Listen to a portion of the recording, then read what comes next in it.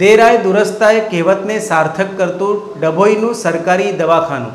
જોઈએ વિશેષ અહેવાલ. સરકાર દ્વારા પ્રજાની સુખાકારી માટે આરોગ્યલક્ષી સરકારી દવાખાનામાં દર્દીઓને કોઈ તકલીફ પડે ન, તે માટે તેમજ ઓપરેશન સમયે મોટાભાગે સરકારી દવાખાનામાં જનરેટર મૂકવામાં આવેલા હોય.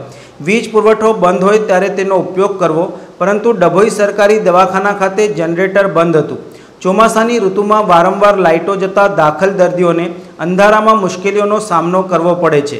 આ સમાચાર મીડિયામાં પ્રસિદ્ધ થતાં તાત્કાલિક હોસ્પિટલનું વહીવટી તંત્ર સફાળું જાગી જનરેટર ચાલુ કરતા દર્દીઓને રાહત અનુભવી હતી. આ અંગે હોસ્પિટલના સુપ્રિન્ટેન્ડન્ટ ડૉક્ટર આરતીબેન ચતુર્વેદીએ હાલ જનરેટર ચાલુ કરવામાં આવ્યું છે.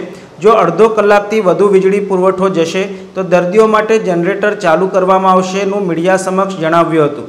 સમાચારોના સતત અપડેટ મેળવવા માટે લોકમત ન્યૂઝને યુટ્યુબ ઉપર સબસ્ક્રાઇબ કરો. બેલ આઇકોન દબાવો અને અમારી સાથે જોડાયેલ રહો. ફેસબુક ઇન્સ્ટાગ્રામ અને ટ્વિટર ઉપર.